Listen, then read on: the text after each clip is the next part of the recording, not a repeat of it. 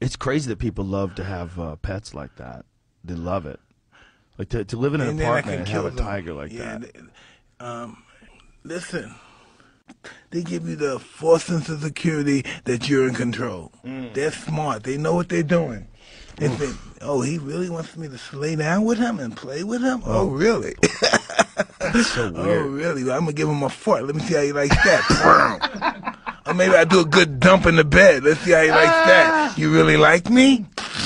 They'll shit right in your bed. No, but definitely, I didn't have that, but they farted. fart, they might as well shit. If they fart, they might as well shit.